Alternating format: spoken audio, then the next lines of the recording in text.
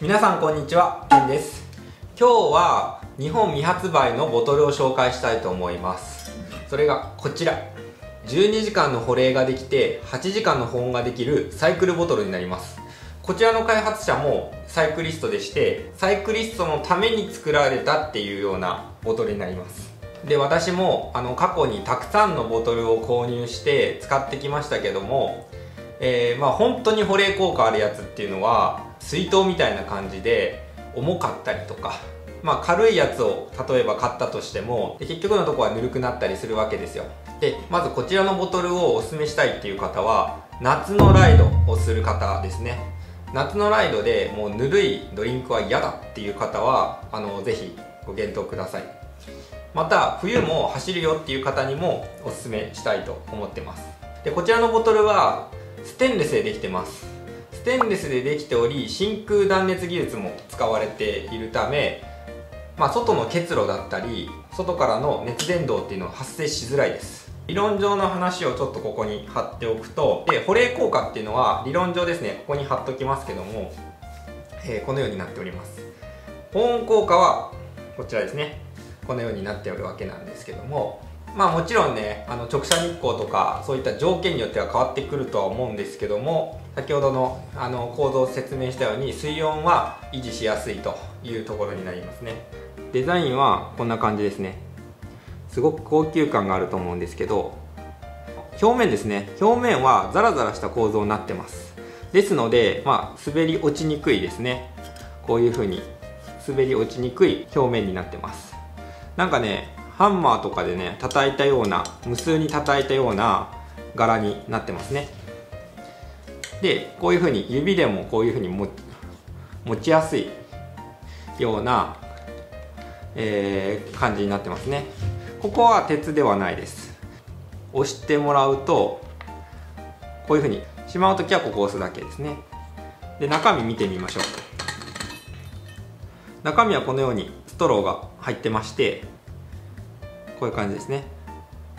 プラスチックのあのボトルとは違ってやっぱり金属なので全然匂いはしないですね。重量どれぐらいなのっていう話なんですけど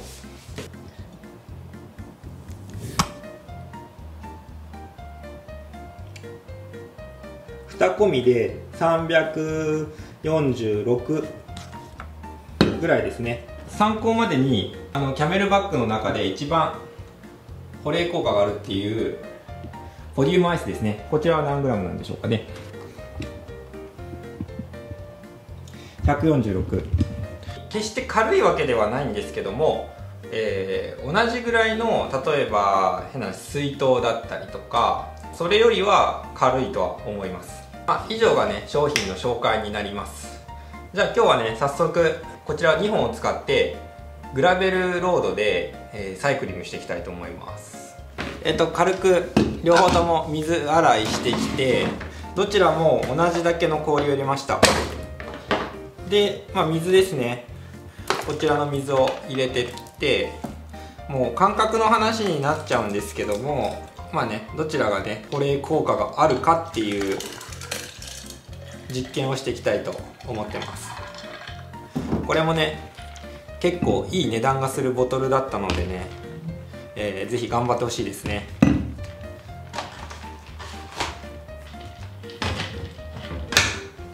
それでは今から着替えてライドしていきたいと思います。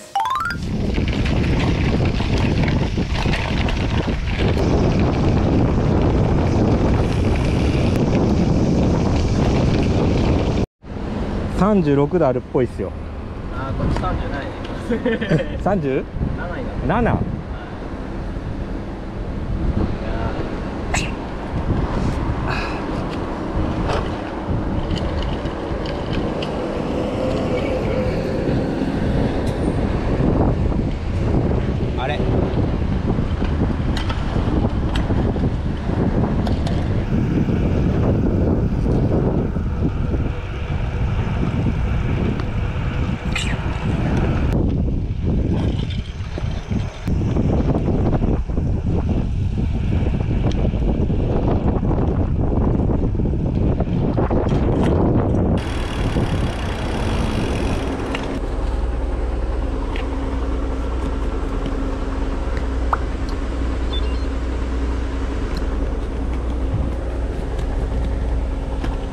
い 30? 7 7? きます？あー買います。はい。見てます最初。あもう言うまでもなく保冷効果はこっちの方が圧勝です。今見てもらった通りもうこっち氷ないですね。こっち氷あってキンキンに冷えてます。でこれ飲み方はこうですね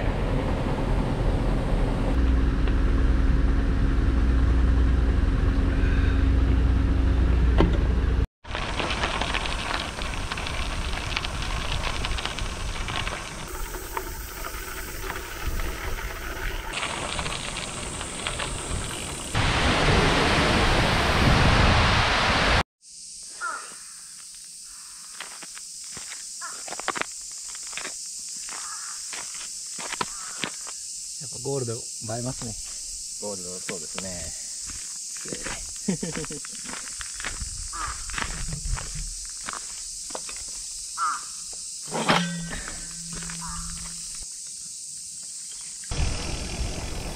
よし。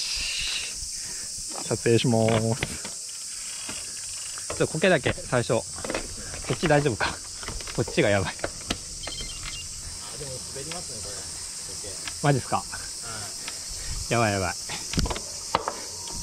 涼しいっちゃ涼しいっすね。さっきよりは。気温はだいぶ下がりますね。低いですねよし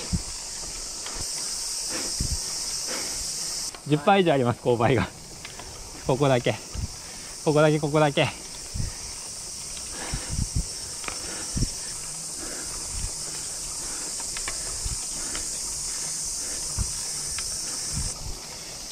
こでだいぶ登りましたかね。いやー。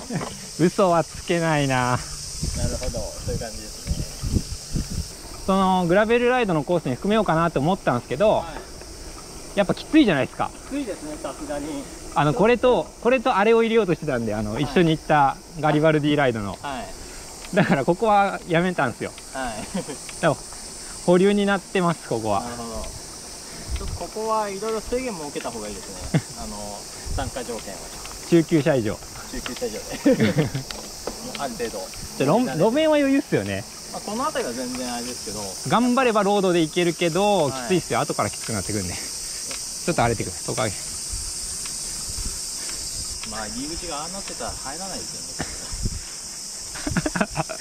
ね。入っちゃう男がいるんですよ。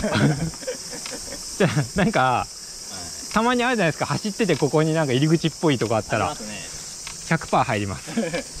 そうやって見つけてってるっていう。いやまあそれぐらいしないと見つからないですからね、あのもう自称冒険家っていう。スプローダーですね。ここはね見つけた時おおって思いましたよ。はい。ただ初見で登った時にあれ？みたいな。はいどこまで続くんだろう。確かここで挫折した記憶あります。ここら辺で。あれ？これ？お？みたいなこのつづらって嫌いなんですよ。ああれこれつづら？あほら。ー勾配が。ねここで心折れたわけです 確かもうなんか大体登山道の入り口で終わるんですよ。あほら。そうですよね大体。よし。登り切りました。したね。間違いなく。よし。いい林道じゃないですかここ。そうですね。ここだけで一周して帰るぐらいだったらぶっちゃけ無料でもいいかも。は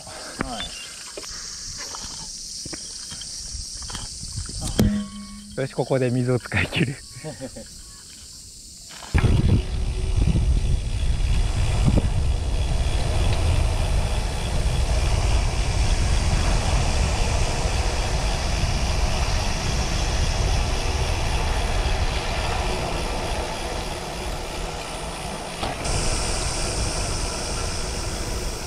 こけ注意ここ注意。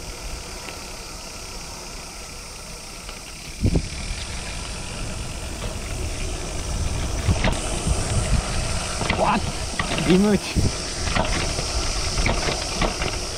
ロードだったらリム打ちしますね。もうロードバイクはパンクしますね。ここも注意。右っすわあ。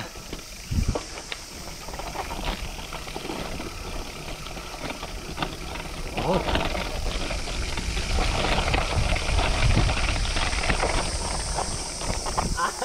るほどなんかドラクエっぽくないですか？うわ泥が泥が泥が。なんか俳句の聖地らしいっすよ。えいや今そこで見たら。なんか俳句がはい。はい。いやもうあの歴代の勇者の風呂です。え自動であすげえ。そうなんですカメラ動いてる、よはい。これでパノラマ撮ってくる。んですすげえ。GoPro より面白いかもしれない。こ れあのオズモの新しいやつです。DJI の、はい。めっちゃ面白いですよね。そうですね。ここにお風呂がある理由だけが知りたい。えっと出て右に曲がって下ってきます、はいえっと最後ら辺にロープがあってあの入り口みたいに。そこだけ注意してください。ああここは。ここはそのタイヤいいっすね。ここは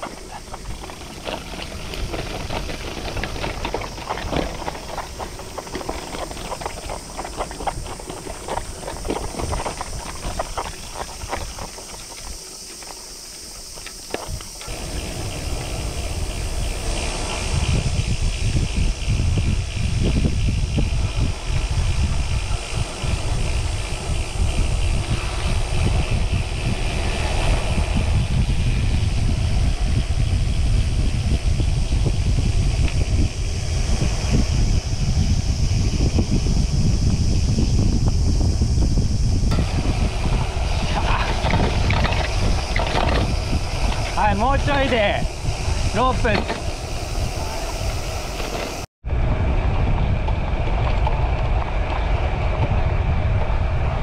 行ってみましょう。鶴じゃないですよねあれ。あの葉っぱみたいな。心配。わあ鶴引っかからんように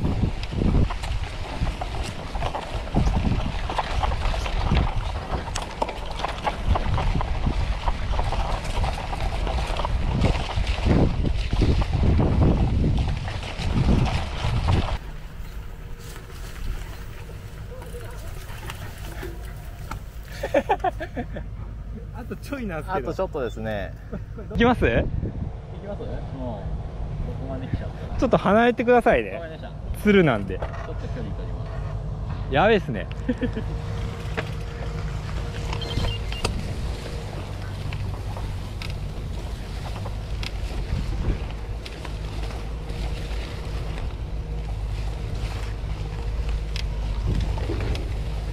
素晴らしい ついてきてる。ついてきました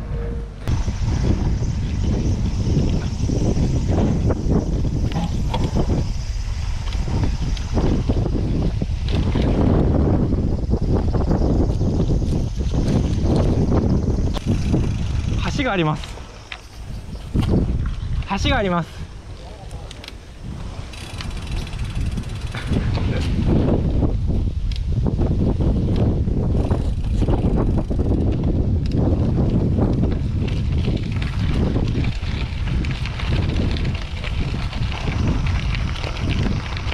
ここまでかな。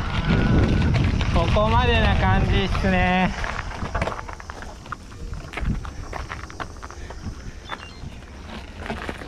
しましたねグラベルライド。い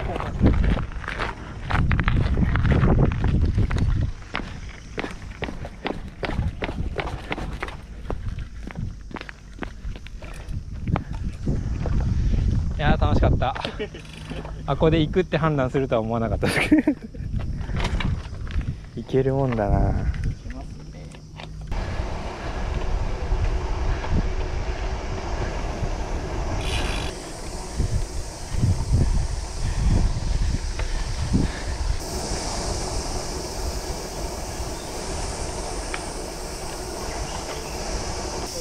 いい感じいい感じ。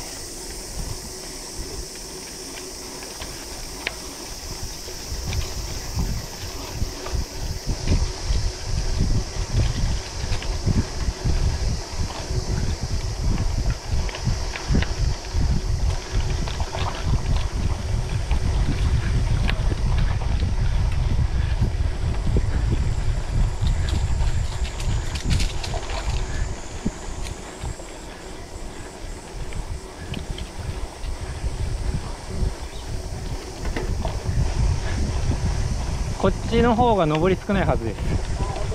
はい。まあ登ってきてたんで今。あそうですねあとは下るのみ。よよし。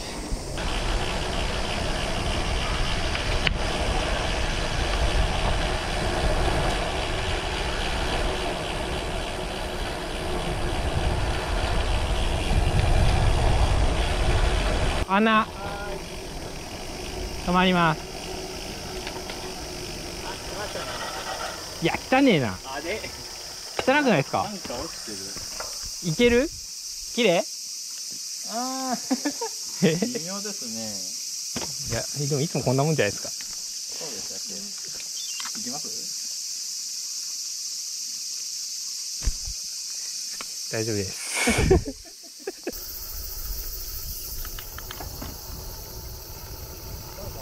はーい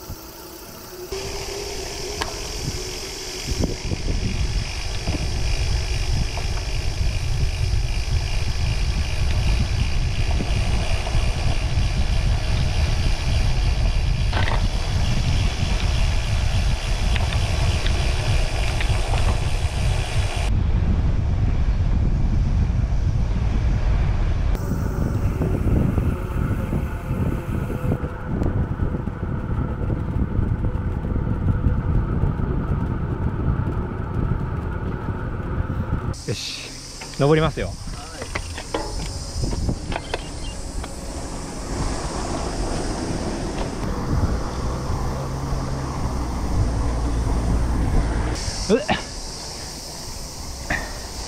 し。あほらもう力がないっすね。しかもまたロックかかったあー俺のエレメントロームが。あ今日はダコンの日ですか？階段で頼んでるあ週一の楽しみなんですよ。これめっちゃうまいですよ、うどん半分の時もやりますけどラーメンの方が好きっすこうやって入れて。ありがとうございますこ